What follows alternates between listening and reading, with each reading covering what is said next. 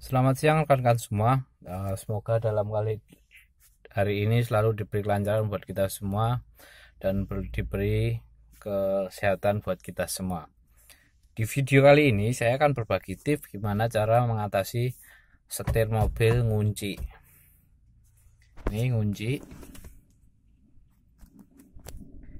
Ini di nggak? Ini dikunci aja gini nggak bisa.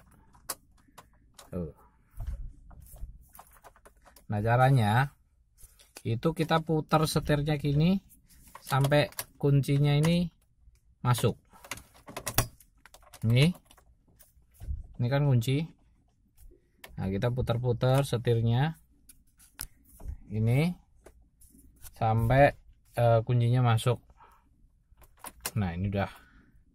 Jadi intinya kalau ngunci itu, kalau setirnya ngunci itu kita putar ini sambil kita masukin kontaknya ya. Sampai kontaknya masuk baru kita uh, bisa uh, muter ini setirnya.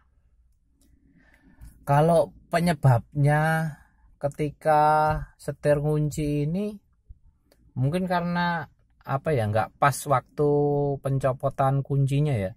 Jadi ini eh, apa ya eh, nggak pas lah intinya ini udah pas. Ini udah bisa masuk tadi.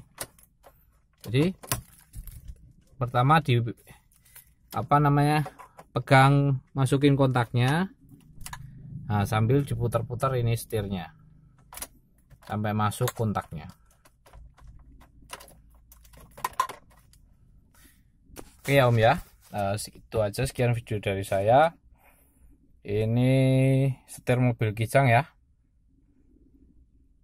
ini udah saya ganti punya variasi. Pakai model Momo yang biasa sih harganya 200 ribuan.